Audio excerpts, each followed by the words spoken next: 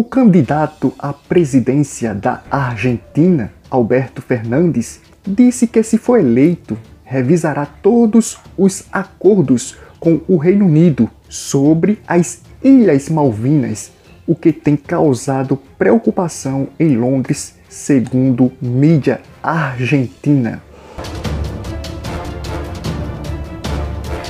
As eleições argentinas ganharam um maior foco após as declarações feitas pelo candidato à frente de todos, Alberto Fernandes, à presidência do país. Em um tom nacionalista, o candidato criticou as relações do atual presidente Maurício Macri com o Reino Unido durante um debate ocorrido neste domingo, dia 13.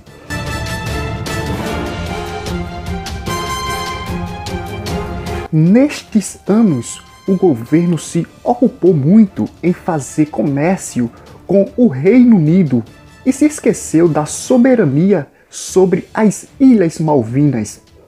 Lá morreram mais de 700 soldados. Em memória de todos eles, eu vou fazer com que as coisas sejam diferentes, disse Fernandes durante o primeiro debate presidencial argentino.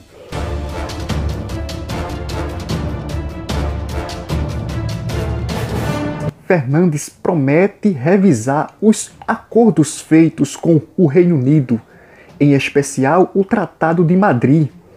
Segundo o documento, o Reino Unido fez certas sanções em relação à zona de exclusão das Ilhas Malvinas. Ao mesmo tempo, o documento reafirmou o poder britânico sobre as ilhas, o que desagradou Fernandes.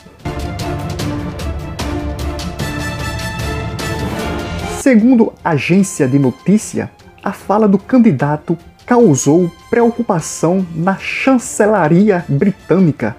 A delicada disputa pela soberania das Ilhas Malvinas entre Buenos Aires e Londres já foi motivo de guerra entre os países na década de 80.